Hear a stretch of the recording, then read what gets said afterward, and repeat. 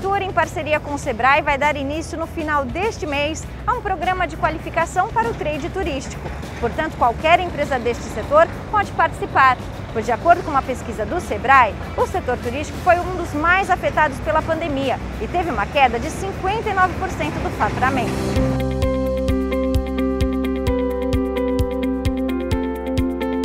Programa é estadual, né? praticamente todos os escritórios do estado estão operando esse programa agora, mas é feito um estudo exatamente para saber quais cursos são direcionados para cada região. A pessoa que entra, ela vai participar de uma atividade coletiva, incluindo um diagnóstico, e aí nós do Sebrae vamos direcionar essa empresa para as ações e atividades prescritas no, no próprio programa.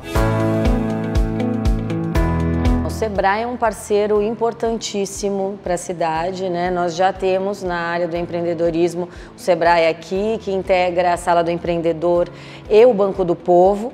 Essa parceria com o Sebrae tem o objetivo de fortalecer essas empresas no momento da retomada, né? trazer é, oportunidade para que elas possam ampliar a sua atuação, para que elas possam identificar oportunidades realmente de, na, na retomada. Então, o Sebrae tem aí essa, essa plataforma online e eles não colocaram limite. Então, as pessoas que tiverem interesse, as empresas que tiverem interesse, elas podem se inscrever, que todas elas vão poder participar e receber aí essas orientações que são muito importantes nesse momento.